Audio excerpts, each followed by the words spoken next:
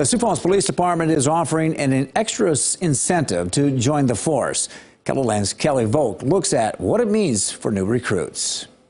Today, Sioux Falls Police announced a hiring incentive for 2022.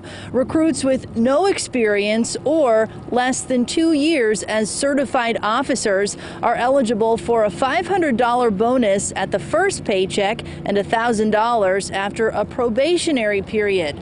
There are also perks for certified officers with at least two years of experience looking to join the Sioux Falls Police Department. For those officers, uh, they'll receive $1,000 upon starting with our department, and upon their successful completion of the probationary period, they'll then receive an additional $4,000 for a total of 5,000. The Sioux Falls police chief says the department has to remain market competitive. We understand the community is best served by a police department that maintains its staffing at the highest level possible. And uh, we're doing everything we can to make sure that we really fulfill that staffing piece. As of right now, the incentive has only been budgeted for 2022.